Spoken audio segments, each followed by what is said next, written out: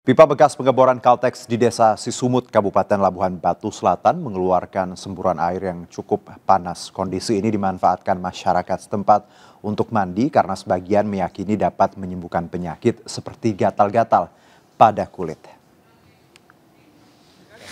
menambah darah pariwisata untuk lagi lagi Inilah pipa bekas pengeboran Caltek yang berada di area perkebunan kelapa sawit tepatnya di Dusun Sisumut Bom, Desa Sisumut, Kecamatan Kota Pinang, Kabupaten Labuhan Batu Selatan, Sumatera Utara.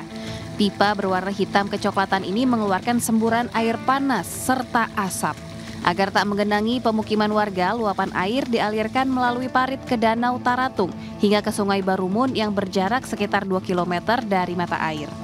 Sementara suhu air yang begitu panas bahkan mampu merebus telur menjadi matang dalam beberapa saat.